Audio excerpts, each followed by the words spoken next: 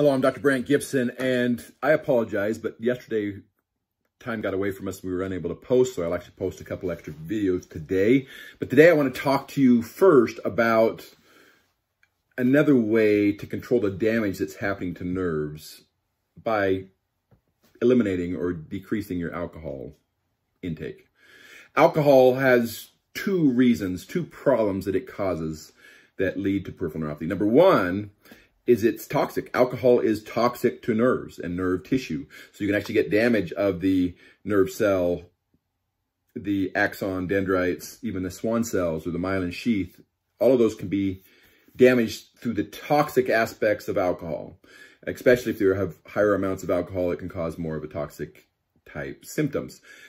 That being said, the second one is probably even more problematic, which is why typically alcoholic neuropathy really happens in an alcoholic is alcohol leads to a poorer nutrition level. So they, they don't eat like they're supposed to, they're not eating the things they're supposed to do. And they end up getting a combination of the toxic neuropathy from the alcohol as well as a deficiency type neuropathy.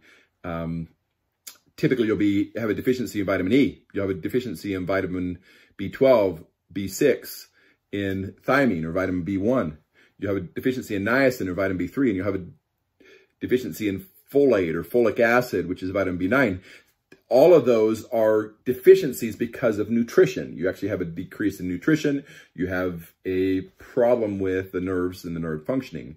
So that being said, one of the ways we treat alcoholic neuropathy is by increasing the vitamin intake of those key vitamins to help with the absorption and so forth of those vitamins so that we can actually get a necessary information. But we'll also be testing to see, okay, do you have a nutrition imbalance, a protein problem where you're not getting enough nutrition to keep the protein levels up that allows you to repair and improve the functioning of all cells, including the nerve cell. So that being said, one of the biggest ways that we can stop the damage or control the nerve damage that is happening is through decreasing alcohol levels. As you decrease the alcohol levels, your nutrition usually goes up and your toxic damage of the nerves will go down because you don't have as much toxins in the body. Um, and so basically, you're fixing the problem by eliminating the cause.